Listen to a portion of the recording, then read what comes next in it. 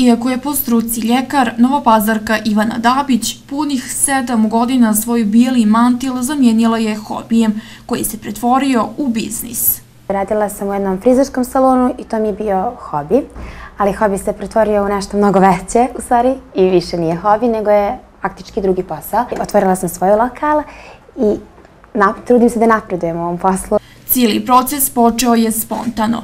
Edukacija u ovom poslu je neizbježna, pa samim tim put do sticanja znanja i vještina je duk. Krenula sam eh, kao djevojčica sa 17 godina dok sam išla još u školu i mislila sam hajde da imam neki kao hobi od koga ću da nešto malo zaradim i neću ja time dugo da se bavim. Onda sam upisala fakultet, a usput sam razvila taj posao i onda sam stvarno shvatila da je već vrijeme da se edukujem i krenula sam na prvu edukaciju.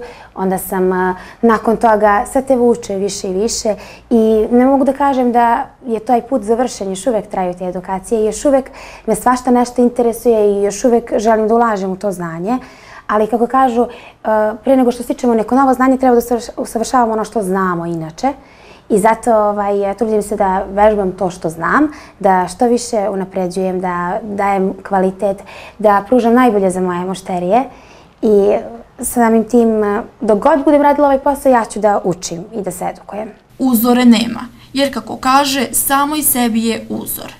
E, uvek radim po nekom svom osjećaju i nekako svako podnobje, područje je drugačije. Naprimjer, e, pazar traži nešto drugačije nego što je u Beogradu. E, ovdje se rade drugačiji stilovi. I onda nekako kakve su mušterije, tako se ja prilagođavam. Ovaj posao joj je velika razonoda i izduvni ventil od svakodnevnih dješavanja i pružanja pomoći ljudima.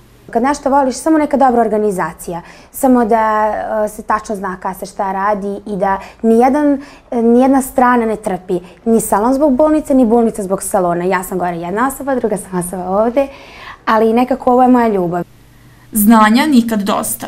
Jedan dio puta uspješno sam prošla, a za dalje ću nastojati da se usavršavam, jer voljela bih da u bliskoj budućnosti sarađujem i sa većim imenima, istakla je Novopazarka da radim neke revije, da radim e, reklame i uvek tu ima želja i uvek ima nešto novo. Savršenstvo jedne žene ogleda se u njoj samoj, jer spoljašnja ljepota jednaka je unutrašnjoj.